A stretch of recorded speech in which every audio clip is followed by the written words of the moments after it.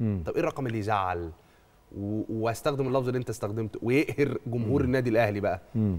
إنه من أربع فرص محققة expected goals قدام ريال مدريد سجلت سج... هدف لا ما ضربة الجزاء مش محسوبة. كمان آه. ما سجلتش آه. ما سجلتش. آه. قدام فلامينجو النهارده سجلت جول. آه عشان في فبدل ما تسجل 8 سجلت جول. آه. نسبتك 12 13% آه. نسبة محزنة جدا جدا.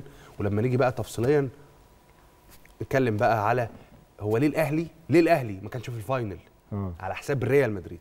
آه. ليه الأهلي النهارده ما خدش المركز الثالث آه حالة الطرد وحاجات كتير جوه المباراة لكن ليه الأهلي فنيا ما قدرش يعمل ده؟ وإيه الحاجات اللي وارد جدا يكون اللعيبة على الصعيد الفردي؟